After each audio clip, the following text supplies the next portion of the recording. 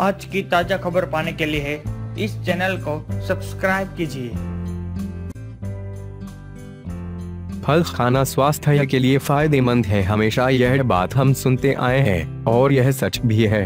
हर फल में कोई न कोई विटामिन ज़रूर होते हैं, जो हमारी बॉडी के लिए लाभकारी होते हैं।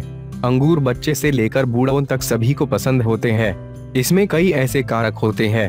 हेल्थ के लिए कारगर साबित होते हैं। एक रिसर्च में सामने आया है कि अंगूर डिप्रेशन को खत्म करता है। इसलिए अगर आपको भी डिप्रेशन से बचना है तो अंगूर खाना ना भूलें। अंगूर खाने से मनोविकार कम होता है। मीडिया रिपोर्ट्स के मुताबिक शोध में यह रिज़ल्ट आया है कि अंगूर खान से दिमाग सही रहता है। यह पॉजिटिव असर डालता है। इसलिए आहार में अंगूर को शामिल करना चाहिए। गुड़ नहीं खाने से दिमाग पर नकारात्मक असर पड़ता है।